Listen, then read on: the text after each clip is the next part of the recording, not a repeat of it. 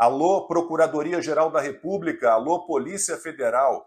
Os documentos divulgados por três jornalistas sobre a censura imposta a usuários do antigo Twitter não merecem investigação?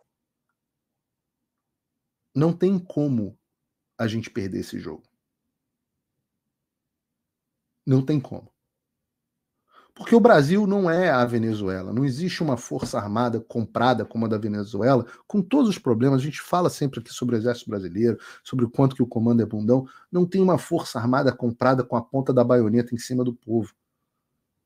Olá pessoal, sejam bem-vindos a mais um vídeo, a mais um reporte aqui do nosso canal. Vamos reagir à parte 2 do canal do Paulo Figueiredo e vamos reagir também ao canal do Lacombe. Quero deixar os créditos aos dois canais. Vocês que ainda não são inscritos, vai lá, se inscreva no canal deles, nos canais deles, se inscreva no nosso, deixa aquele like. Não esqueça de deixar o seu comentário o que vocês acham que vai dar nessa reviravolta toda aí, né? Será que vão tentar tirar o X aqui do Brasil? E se tentarem, será que vai ter consequência? Eu acho que toda ação gera uma reação, né? Alguma consequência terá. Tomara que seja alguma consequência boa para o Brasil, caso tente, porque se não tirar, vai liberar todo mundo, vai liberar geral para meter a lenha, né? Para falar a verdade, né, gente? Não é para é, incriminar ninguém que não seja criminoso, vai liberar para falar a verdade. E aí o bicho vai começar a pegar no Brasilzão, hein? Vamos lá ver o vídeo. Alô, Rodrigo Pacheco. Alô, Arthur Lira. Vocês estão por aí? Procurem em suas gavetas, naquelas propositadamente quase inatingíveis, abandonadas numa bagunça estratégica. Nelas tudo se perde, tudo fica esquecido. Talvez já tenham feito uma limpeza, pode ser, ou talvez nada do que importa para o Brasil de verdade tenha sido mesmo guardado nelas. As lixeiras podem ter parecido menos perigosas, mais adequadas, mais sedutoras, mais oferecidas como destino ideal de pedidos de impeachment de ministros do STF, de abertura da CPI do abuso de autoridade, sem escalas, sem repouso eterno em gavetas malfadadas e com reciclagem impossibilitada, claro. Alô, Procuradoria-Geral da República, alô, Polícia Federal. Os documentos divulgados por três jornalistas sobre a censura imposta a usuários do antigo Twitter não merecem investigação? Que gente é essa que está acima das leis, da Constituição, do marco civil da internet? Não houve abuso de autoridade, utilização excessiva do poder?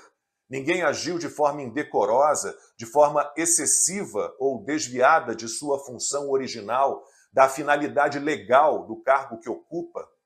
Parece que esqueceram o que é crime de responsabilidade, aquilo que pode levar a um processo de impeachment. Em que delírio estão metidos agentes da Polícia Federal e técnicos do TSE que investigam hashtags? Parecem todos felizes com o próprio sequestro. A Advocacia Geral da União também, a Anatel, a OAB, parecem todos apaixonados pelo sequestrador agindo de bom grado como reféns num órgão fiscalizador de censura que a Corte Eleitoral não poderia ter criado, seguindo leis que o TSE também não poderia inventar. Na sua síndrome de Estocolmo, esses reféns encantados levam um país inteiro para o cativeiro. Alô, Congresso Nacional, tem alguém nas casas? Ou estão todos preocupados com as eleições municipais, com os bilhões do fundo partidário, do fundo eleitoral, com as emendas parlamentares, com as boquinhas no governo? Ou estão com medo dos Supremos? Assim, em breve, deputados e senadores poderão ser dispensados. Se é para referendar, para permitir tanta desgraça, sem resistência, sem pressão, abrindo mão da sua imunidade, de todas as suas prerrogativas, esse Congresso atropelado deveria entender que empurra um país inteiro na direção do caminhão betoneira desgovernado. Alô, assessoria de imprensa da gangue no poder, que tal voltar a usar critérios jornalísticos para escolher as histórias que vai contar e aquelas que vai abandonar? E que tal contar as suas histórias com base nos fatos, na busca pela verdade? continuar nessa artimanha de decidir suas pautas com a preocupação de ajudar amigos, aliados, cúmplices e prejudicar adversários, só empurra o Brasil para o abismo. O jornalismo decidiu se matar e encaminha um caso único de suicídio seguido de homicídio, o assassinato do Brasil. Ainda há tempo para se arrepender. Agora vamos para a parte 2 aqui, né, pessoal? A maioria do pessoal aí que queria, quis ver a parte 2. Vamos lá. Você não ter as redes à mercê do Alexandre. Para você poder continuar usando o X. Você tem uma maneira de fazer isso, é muito simples. Basta você usar um VPN. E você tem aqui no nosso canal, nós temos um link aqui embaixo na descrição, onde você pode baixar o Proton VPN que eu anuncio há meses. E digo que todo, quando eu digo para vocês que o Brasil virou uma ditadura e que todo mundo tem a obrigação de baixar um VPN e ter um VPN instalado, é por conta disso. Gente, em última instância, ele vai sempre tendo que aumentar a aposta dele, até que a aposta fica cara demais e ele se ferra. Mas isso só vai acontecer depois que ele bloquear o X. Aí daqui a pouco ele vai e bloqueia outra rede, até que um, até um ponto que o sistema olhe e fale: esse cara tá pesado demais. Ele errou na mão. E ele caia. E eu vou falar especificamente sobre isso. Mas você pode baixar o Proton VPN. Tem uma versão e tem outros VPNs gratuitos. Porque eu estou lutando contra um inimigo que ninguém vê. Até este momento, era o Paulo Figueiredo aqui, que nem um doido, correndo em podcast, em Tucker Carlson, no Congresso, jornalista, coluna, é, é, PragerU, porra, é, PragerU de novo. Era, era, o, era o Paulo Figueiredo igual um maluco.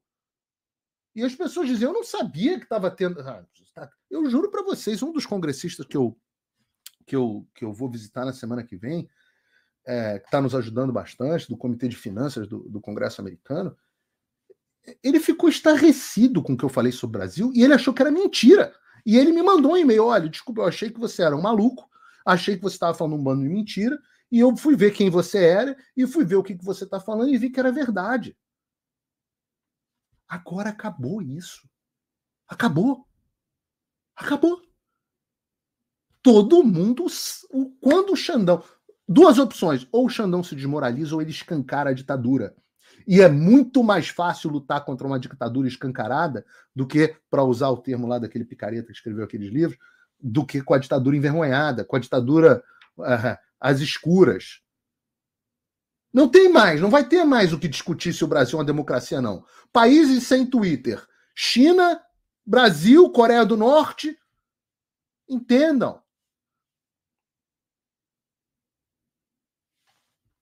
Isso, isso, é, isso é gigantesco, isso é histórico. O Babaquara, isentão lá da Faria Lima, que tava assim, puta, meu, esse Paulo Figueiredo, mas também ele fala muito, meu. Fala demais, meu. Aí também, né, pô? Esse, esse cara que fala, pô, também mereceu, né, meu? Vai peitar o cara. Esse babaquara da Faria Lima, que usa o Twitter para acompanhar as notícias, esse cara ou outro que fala assim: ah, meu, tá tendo ditadura, meu. Não, isso é exagero. Esses caras são exagerados, também estão falando muito, né? Acabou para esses caras. Esses caras agora vão ter que olhar. E agora, essa turma começa a falar. Puta, meu, também esse, esse Alexandre tá exagerando, né, meu? Tá achando que é quem, né? Puta vergonha pro Brasil. Puta vergonha, meu. Esse cara que tava desconectado esse cara vai ter que aterrissar na realidade. Esse cara vai. Tá tomando um. Porra! Hã? Caraca! Caiu o Twitter no Brasil? Que isso, meu? Caiu? Puta, mas o que, que rolou? Pô, o cara tá, também tá demais, né? Passou do ponto. É isso que a gente precisa. que o Xandão se torne pesado demais. O que eu quero dizer para vocês, e essa é uma live curta, o que eu quero dizer para vocês é: confiem, tá funcionando. Quando eu comecei, e eu só comecei porque ele me bloqueou, isso é, eu tenho que admitir. Era tudo mato. Eu chegava, ninguém me ouvia. Quando eu cheguei no Congresso dos Estados Unidos com a Carla Zambelli em novembro de 2022, a gente batia nas portas, ninguém nem ouvia a gente. Vamos lá, protocolamos, começando. Não tinha um jornal, não tinha uma fonte, eu não, eu não tinha as, os parlamentares e eu não tínhamos as conexões. Hoje eu tenho mais de 30 congressistas por trás de mim, me dando salvo-conduto para eu fazer o que eu quiser. PragerU, uma instituição que fatura, que arrecada 100 milhões de dólares, está em não sei quantas escolas, 6 bilhões de visualizações de vídeo por ano. Eu tô com. Agora, Congresso. É, Washington virou minha segunda casa, eu vou toda semana. Teremos audiência sobre o Brasil. Teremos já estou em conversa com Portugal, já estou em conversa com Espanha, já estou em conversa com Itália, já tem uma missão hum, dessa, essa eu não vou poder ir, mas do parlamento do Brasil, dos brasileiros agora no Parlamento Europeu. Eu estava falando de xadrez, né? Deixa eu dizer uma coisa para vocês. Não tem como a gente perder esse jogo. Não tem como. Porque o Brasil não é a Venezuela, não existe uma força armada comprada como a da Venezuela, com todos os problemas. A gente fala sempre aqui sobre o exército brasileiro, sobre o quanto que o comando é bundão. Não tem uma força armada comprada com a ponta da baioneta em cima do povo. O Brasil tem uma elite intelectual, financeira, etc., que a Venezuela não tem. Então o caminho é sempre. Por que, que eu digo que não tem como a gente perder? Porque é sempre a dobrada de apostas. Quando eu falo que eles só vão me parar com um tiro na nuca, muita gente fica chateada. A minha família, cara, teve um amigo que me deu um negócio à prova de balas que eu uso de vez em quando. É, preocupado, o cara comprou e mandou entregar na minha casa. Quando, eu, quando eu falo isso, é porque eu sei aonde isso termina. A única forma de você garantir é essa. A ditadura é essa, é através da força extrema. Não tem outro caminho. Então você vai numa série de apostas dobradas. Ah, o sujeito assim, desmonetiza o, canal dele. Não, mas agora o outro tá falando. Não, desmonetiza o dele também. Não, não o outro. Não, tá. E ele continua, os caras que foram desmonetizados continuam falando, agora estão ganhando dinheiro não sei aonde. Não, não, é, é, bloqueia, bloqueia a rede deles. Não, não, mas bloqueou a rede, mas ele tá, abriu outra. Não, não, bloqueia outra. Não, mas porra, as redes não estão conseguindo. Não, então, então bane. Então, então fecha todo mundo. O cara entra num estado de parafuso mental. E o Alexandre perdeu a mão, pô. Eu, eu sei. Por que, que eu sei que ele ia perder a mão? Porque todo tirano entra numa egotrip narcisista, principalmente se for psicopata, entra numa egotrip narcisista e nada para ele. Ele acha que ele é imparável, ele acha que virou o próprio Deus.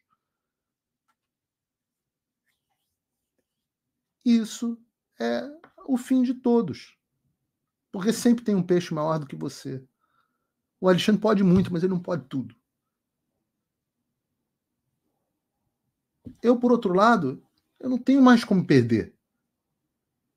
Não tenho mais.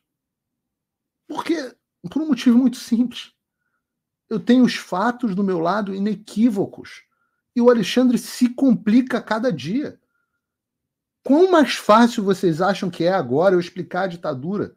Vocês acham que quantas assinaturas vai ter o projeto de lei no Congresso criando sanções contra o Brasil? Quantos? Quantos? E vocês acham que o quê? Que o sistema vai olhar e vai falar, porra, a gente vai perder investimento, porra, tá pegando mal no exterior. Pô, audiência em Portugal, audiência no, no, nos Estados Unidos, audiência, vamos fazer uma na Flórida também, no Congresso da Flórida. Pô, audiência todo, toda hora, toda hora, o mundo inteiro tá falando desse troço.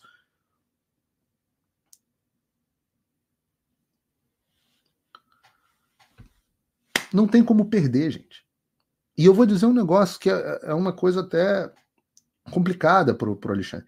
Difamar é muito fácil. Eu sei porque eu já fui muito alvo de difamação. Difamação cola. Difamação baseada na verdade é imbatível.